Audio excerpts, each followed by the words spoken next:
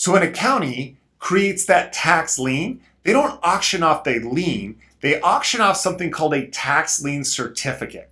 So every county is required by regulation to create a list of all the tax lien certificates that they're going to make available. Now, most counties do it online. Some counties, though, they're still old school and they'll put it at the courthouse or the county office and you have to go look at it.